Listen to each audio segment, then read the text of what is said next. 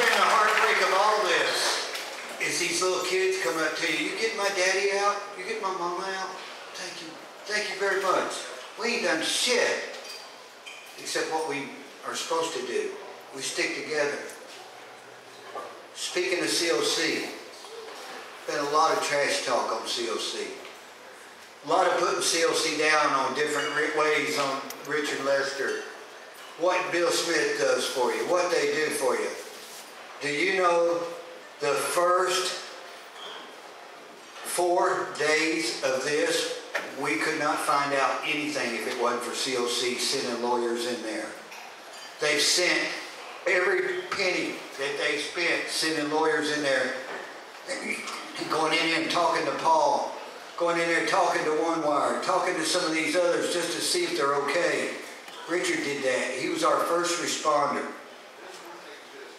This would not exist without him. I would not be here for y'all without him. The Bandidos would still be like they were. They changed me. They showed me that there is rights being taken away from everybody, and it takes somebody like me to get you to understand. Because not everybody can get everybody to follow. Not everybody can get everybody to listen. I have a gift. Y'all listen to me. It was meant to be. Like they were meant to be. On that note, I want to bring up one that we couldn't do it with, in Texas without. The reason Texas is strong, large, and in, proud, and in charge is because of our lawyer. No matter what we ask of him, he don't say that might get me in trouble. He don't say that's going to cost me money in my gas. He don't ask me anything. He tells me, you need it right now? And he drops whatever he's doing. And he gets there. His business, for the first week of Waco, his business fell quite a bit probably because I kept him. He didn't get to get away. They want to interview me, not without Bill there. They want to talk to me about something. They need a lawyer's advice. It's Bill. Bill has done everything for us. He is our biker. He is our lawyer. He is our brother. Bill. Yeah.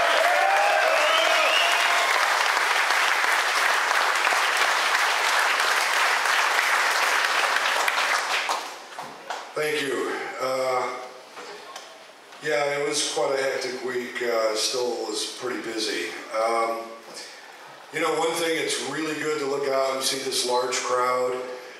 Right after Waco, a lot of folks were saying, I don't know if I want to be involved in COC, it's trouble and everything else.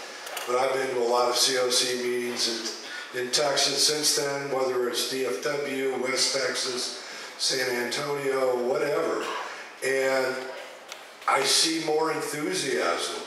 I see more focus. I see more energy that you all understand that we've been doing this, Jimmy's been doing this, the board's been doing for many years.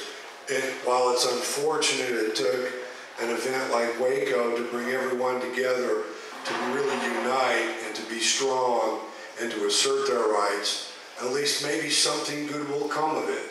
And I uh, uh, anticipate that the COCs will get stronger, they'll get more bold, they'll get more done, we'll have more members, and we'll be a much larger force to deal with in the state of Texas.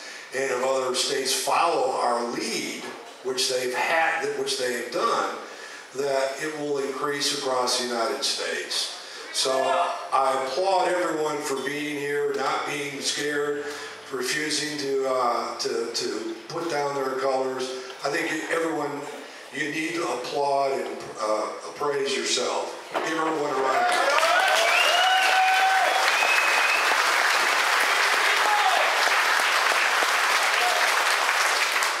And in that regard, we still have battles. For example, uh, NCOM, a lot of it was taken up with the Save the Patch Fund and what's going on. Uh, the uh, Mongols were supposed to go to trial in June. It's been pushed off. They had a change of judge.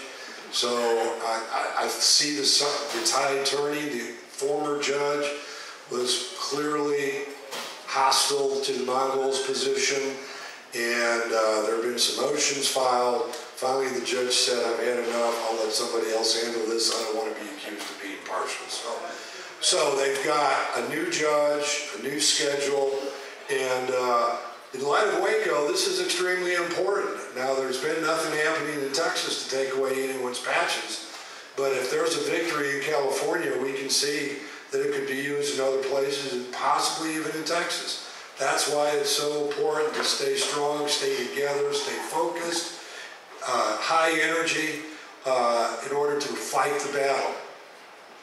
Uh, on a more local level, uh, some people have been pulled over, uh, dogs, uh, that sort of thing. You need to really video record your stops. It's very important. With the heightened scrutiny of anyone who wears a patch, I mean, they're looking for things. As Jimmy said, he goes through Waco on his bike, he's going to get arrested. You got to have a video recording. We've seen over the last many months what a video recording can do about changing the conversation and enforcing someone's rights. You have an absolute right, while law enforcement is in public, to, to record their activities. Uh, they may tell you to move back, move, move to the side, don't interfere. You can't interfere, but you can record. Find a spot and record because it will only help. It won't hurt you unless you do something really stupid. But assuming that you don't, it's going to help you down the road. Uh, for example, uh, the Supreme Court recently said that you can't delay a person on the side of the road to call a dog. If they stop you for a traffic violation, uh, once that is ended, they can't hold you, wait for a dog. You've got to record all of that. So you have a timestamp, you know what's going on, and you can enforce your rights because more and more people wearing patches are getting stopped, harassed, and uh, in some cases arrested over bullshit. You need to record those stops to enforce your rights. Um, uh, just a couple of other issues. As you know, we hired a retired Texas Ranger to investigate. This is what we've done as AIM lawyers, COCs, to get to the bottom and get to the truth. We've heard so many stories, so many lies, so much bullshit coming out of Waco that we obviously don't trust them and we want an independent investigation. So our investigator has been working, he's been interviewing people, he's been looking at videotapes, uh, trying to identify people in videotapes, uh, and, and those sorts of things. And it's very costly, but it's well worth it because at least we can get to the truth and at some point use it to enforce the rights of bikers in Waco for civil rights violations. As you know, most of them, the vast majority of people there, were there for the meeting and the meeting alone. They got caught up in it while they were pulling in the parking lot. There was one, I believe, a leatherneck that was sitting having lunch with Don Carlos. When the shooting started, he sat, waited for it to stop. Police came in and arrested him on the same charge as everybody else. And he was just sitting there having lunch. He was engaged in organized criminal activity. And he had a bond of a million dollars. That's crazy. That's fucking crazy. So we've hired the investigator. He's working. Uh, as I said, he's been interviewing people. And I also want to ask if you or anyone you know have any information, you saw anything, you witnessed anything, you heard anything that might be important, might be relevant, please let us know. Also, just so you'll know, he's going to keep everything confidential. Your name will not be released. In his final report, we've arranged it so that there will be no names in it. There will only be uh, a, a number, and I'm the only one that's going to have the identity of that person. So that, uh, I mean, he's going to know it, of course, but in his report, it, he will not have a master list of people he's talked to. You'll identify them uh, in a, you know, uh, a certain way, but no one's name is going to be released. So if you have anyone that uh, knows anything, uh, may have heard something, uh, let me know. I've got a link on my website. Email me uh, your name, the name of someone, or whoever I need to talk to to get permission to talk to them, because it's going to be very important. We want something as thorough as possible, and only with the help of everyone who witnessed it, saw it, heard it, heard, know somebody, uh, can we get to the bottom of it. Uh, Also, uh, when you're out and about, I've got some rights cards. If you do get stopped, you can hand this to the officer or read it. It tells them about your rights, that you know your rights, and you're going to assert your rights. That's one of the things you must do. Even though you may have certain rights, if you don't assert them, you've waived them. You've given them up. So this will help you in a stop to know what your rights are uh, and to, to assert them. And as I said, if you get stopped, they want to keep you, ask them if you're free to leave. If not, are you under arrest? Why are you being detained? You give you the ticket? Why can't I leave? So search your rights. Lastly, uh, when you are traveling, the AIM lawyers have this app. You can download it to your phone, iPhone, uh, Android. Uh, locates the closest hospital, shop, road conditions, motorcycle towing, uh, a lot more. And uh, we have put together this Riders' Rights and Civil Liberties book. I do not have enough for everyone, uh, believe me. I don't even have enough for every club. They're going like crazy and we're trying to print more. So uh, the first clubs that come up after the meeting, each club, I'll be happy to give you a book until they run out.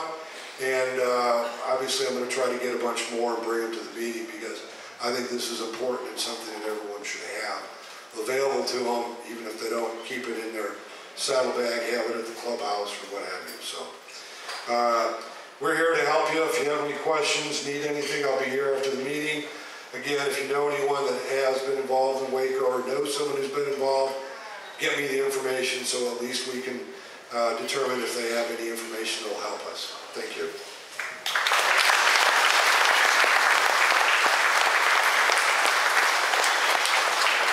Also, any of you that were involved and were there and that's out on bond, or that's shot, or that needs any help, before you go talk to any lawyers about your case, get up with Bill Smith. We're gonna try to do a class action. We don't need a bunch of separate lawyers. Get up with him and let him help you. We raised four thousand two hundred and fifty-six dollars.